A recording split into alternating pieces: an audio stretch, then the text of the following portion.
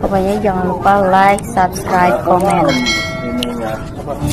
dan juga ada di Indonesia dan